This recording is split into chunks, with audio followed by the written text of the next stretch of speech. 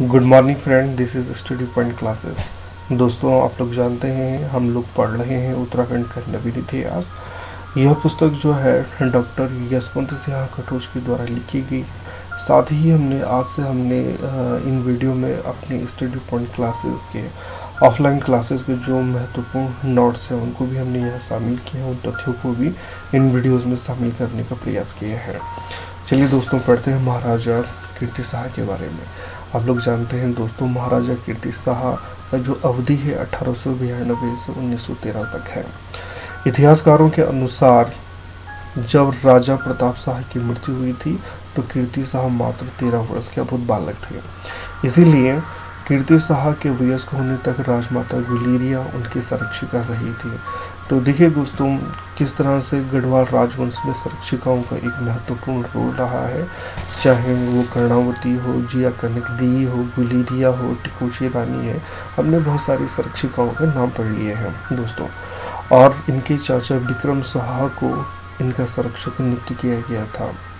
अठारह में कीर्ति शाह को राज्यभार सौंप दिया गया था। राजमाता गुलेरिया ने राजमाता गुलेरिया ने अपने आभूषणों को बेचकर बद्रीनाथ केदारनाथ, गंगा माता के चार मंदिरों में धर्मशाला का निर्माण करवाया था। कीर्ति शाह का विवाह नेपाल के प्रधानमंत्री राणा जंग बहादुर के पौत्रे से हुआ था। कीर्ति शाह प्रताप हाई स्कूल की स्थापना की थी। मूल रूप से प्रताप हाई स्कूल की स्थापना अठारह सौ तिरासी में प्रताप शाह के द्वारा की गई थी, जो अंग्रेज़ी का प्रथम विद्यालय था। दोस्तों, अब आपको यहाँ पे एक बात ये नोट रखनी है कि टिहरी में अंग्रेज़ी शिक्षा की जो शुरुआत थी, वो प्रताप शाह के समय में ही की गई थी, जिसकी स्थापना स्वयं जिस विद्यालय की स्थापना स्वयं प्रताप शाह ने अठारह सौ तिरासी में की थी। प्रताप शाह के पुत्र कीर्ति शाह जिनको हम पढ़ रहे हैं, इन्होंने बाद में उसी अंग्रेज़ी विद्यालय का नाम बदल करके प्रताप शाह हाई स्कूल कर दिया था। नेक्स्ट दोस्तों हिबिट संस्कृत पाठशाला की स्थापना 1909 में की गई थी। इसके साथ साथ कीर्ति शाह ने अन्य विद्यालयों की स्थापना की थी। किंतु जो महत्वपूर्ण है, वो हिबिट संस्कृत पाठशाला और प्रताप हाई स्कूल ही है। राजा कीर्ति शाह ने अनेक सामाजिक सुधार के कार्य किए थे, जैसे क्रूरतापूर्वक झोटा मारने और भीड़ वार्ता को बंद करने का आदेश दिया था। कीर्ति शाह ने निर्धनों को कन्यादान में आर्थिक सहायता दी थी। किसानों की सुविधा के लिए दो लाख रुपयों से बैंक ऑफ़ गढ़वाल की स्थापना की थी। दोस्तों, ये तथ्य महत्वपूर्ण है। अब तक ये यू के एस की परीक्षाओं में नहीं पूछा गया है। हो सकता है कि आगामी परीक्षाओं में यहाँ से प्रश्न पूछा जाए। राजधानी स्थित टिहरी प्रिंटिंग प्रेस से पाक्षिक पत्र रियासत टिहरी गढ़वाल दरबार गजट प्रकाशित हुआ था। हो सकता है दोस्तों, आपको ये पंक्ति भी समझ में नहीं आई होगी।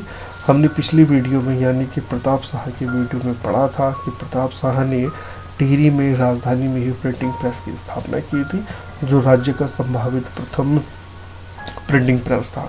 तो उसी प्रिंटिंग प्रेस से कीर्ति शाह ने रियासत टिहरी गढ़वाल दरबार गजट नाम का एक अखबार प्रकाशित किया था, जो एक पाक्षिक था।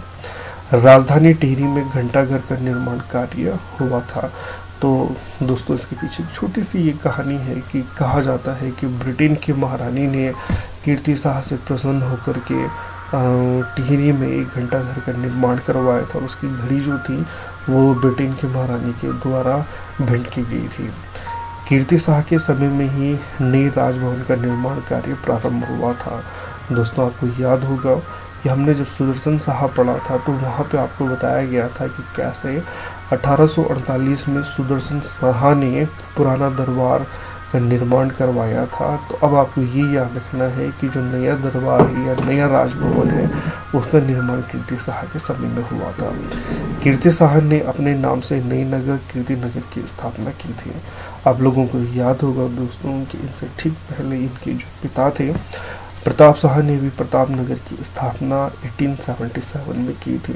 तो दोस्तों, प्रताप शाह से कीर्ति शाह कीर्ति शाह के बाद नरेंद्र शाह इन शासकों ने अपने नाम से नगरों की स्थापना की थी। कीर्ति शाह ने यमुना नदी पर हीवेट ब्रिज का निर्माण करवाया था, जो महत्वपूर्ण है। दोस्तों, आप लोग जानते हैं कि यूकेएससी का कोई भरोसा नहीं है, ये कहाँ से किस प्रकार का प्रश्न दे दे तो हमें अधिक से अधिक फैक्चुअल याद रखने हैं। महाराजा कीर्ति शाह ने सर्वधर्म सम्मेलन का आयोजन किया था। महत्वपूर्ण पॉइंट है दोस्तों ये। इस पंक्ति के ऊपर मैं अंत में एक बार फिर से चर्चा करूँगा, फ़िलहाल आगे बढ़ते हैं। अठारह में ब्रिटिश सरकार ने इन्हें कंपेनियन ऑफ़ इंडिया की उपाधि से सम्मानित किया था। यह स्रोत उत्तराखंड का समग्र इतिहास अजय रावत की पुस्तक है। ये कंटेंट हमने वहाँ से लिया है। दोस्तों 1900 में कीर्ति शाह को इंग्लैंड में 11 तोपों की सलामी दी गई थी। नेक्स्ट दोस्तों 1901 में कीर्ति शाह को नाइट कमांडर की उपाधि से सम्मानित किया गया था। कीर्ति शाह के समय में टिहरी में पहली बार बिजली की सुविधा से जनता को अवगत कराया गया है। दोस्तों, आप लोग जानते हैं कि कीर्ति शाह की जो टाइमिंग है, अभी आपको पता है कि ये कब से लेकर कब तक थे। तो इनका जो लास्ट ड्यूरेशन है, वो था आपका 1913 तक। और आप लोग जानते हैं कि मसूरी में जो ग्लोगी जल विद्युत परियोजना है, उस पर विद्युत उत्पादन का कार्य इन्हीं के समय में शुरू हुआ था। कीर्ति शाह ने नगर पालिका की स्थापना की थी। किंतु राज्य की सबसे प्राचीन नगर पालिका मसूरी नगर पालिका है। दोस्तों, इसको याद रखिएगा। उत्तरकाशी में कीर्ति शाह ने कुष्ठ आश्रम की स्थापना की थी। कीर्ति शाह ने टिहरी में वैशाला का निर्माण करवाया था। दोस्तों, ये जो टिहरी में वैशाला का निर्माण करवाया था, इन्होंने यहाँ पर विदेशों से नक्षत्रों का अध्ययन करने के लिए टेलीस्कोप मंगवाए थे, जो महत्वपूर्ण है। अभी तक यू कैसे से ये प्रश्न नहीं पूछा गया है। संभवतः हो सकता है कि आने वाले समय में यहाँ से ये प्रश्न पूछा जाए। कीर्ति शाह ने टाइपराइटर का भी आविष्कार कर लिया था। 1902 में स्वामी राम तीर्थ टिहरी गढ़वाल आए थे। दोस्तों, ये वही राम तीर्थ हैं जिन्होंने टिहरी डैम जिस स्थान पर आज बना है, वहाँ पे इन्होंने गंगा समाधि ले ली थी। आज टिहरी डैम का जो जलाशय है या रिजर्वायर है, वह राम तीर्थ सागर के नाम से जाना जाता है। ये एक महत्वपूर्ण पॉइंट है दोस्तों। तो राम तीर्थ जो है, प्रश्न ये यू कैसे बना सकता है कि स्वामी राम तीर्थ किसके समय में टिहरी में आए थे? तो यह कीर्ति शाह के समय में टिहरी में आए थे।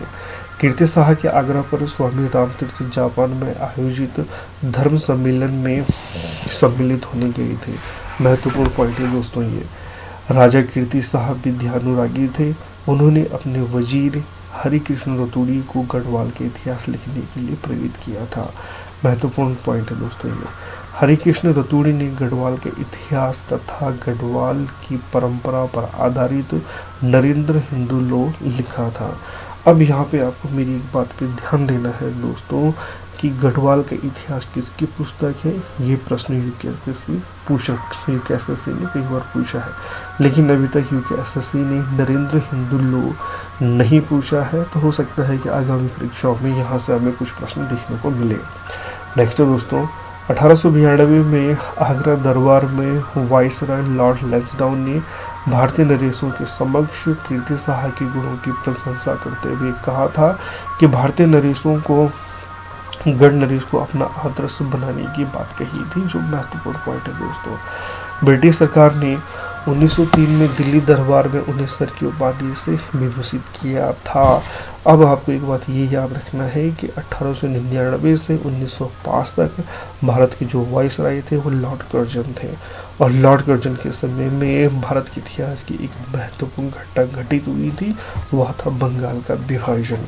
देखिए दोस्तों, ब्रिटिश काल में चार दिल्ली दरबार का आयोजन हुआ था। प्रथम दिल्ली दरबार का आयोजन 1877 में लॉर्ड लटन के समय में हुआ था, जिसमें महारानी विक्टोरिया को किस ए हिंदी की उपाधि दी गई थी। दूसरा दोस्तों, द्वितीय दिल्ली दरबार 1903 में कर्जन के समय में हुआ था और सम्राट एडवर्ड सप्तम की ताजपोशी की घोषणा इसमें की गई थी।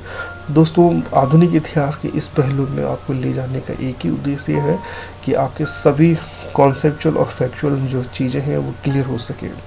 तृतीय दिल्ली दरबार 1911 में लॉर्ड हार्डिंग द्वारा जॉर्ज पंचम और महारानी मेरी के आगमन पर हुआ था, जिसमें बंगाल विभाजन को रद्द कर दिया गया था।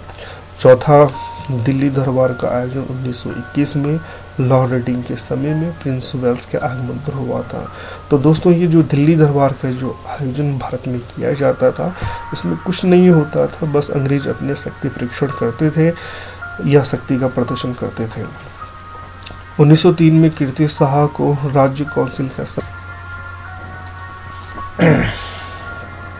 1903 में कीर्ति शाह को राज्य काउंसिल का सरकारी सदस्य बनाया गया था। महत्वपूर्ण पॉइंट है दोस्तों, लॉर्ड कैम्पवेल के कथन है कि कीर्ति शाह सदृश राजा मैंने भारत में वर्ष में किसी भी भाग में नहीं देखा।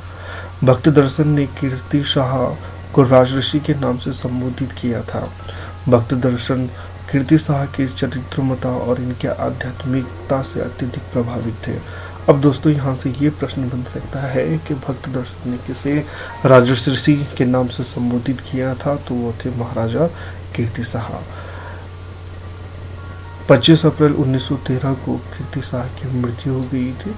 कीर्ति शाह ने सम्राट अकबर की भांति गढ़ राज्य में धर्मावलियों की अपने अपने धर्म की मीमांसा करने हेतु तो एक सभा बुलाई थी। कीर्ति शाह को गढ़वाल का अकबर भी कहा जाता है। दोस्तों, क्यों कीर्ति शाह की तुलना अकबर से की गई है, इसका एक महत्वपूर्ण तथ्य ये है दोस्तों। कि आप लोग जानते हैं कि कैसे 1580 में अकबर ने एक धर्म की स्थापना की थी, जिसका नाम था दीन ए इलाही, और अकबर ने अपने राज्य में इबादत खाने की स्थापना की थी, जिसमें सभी धर्म के अनुयायियों को प्रवेश वर्जित था। सॉरी प्रवेश अलाव था, वो पूछते थे और अपने अपने धर्म के ऊपर वो चर्चाएँ कर सकते थे, जिसमें अकबर स्वयं भाग लेता था। ठीक इसी प्रकार की गतिविधि भी कीर्ति शाह के समय में हुई थी। संभवतः इसी कारण इन्हें कीर्ति शाह को गढ़वाल का अकबर भी कहा जाता है।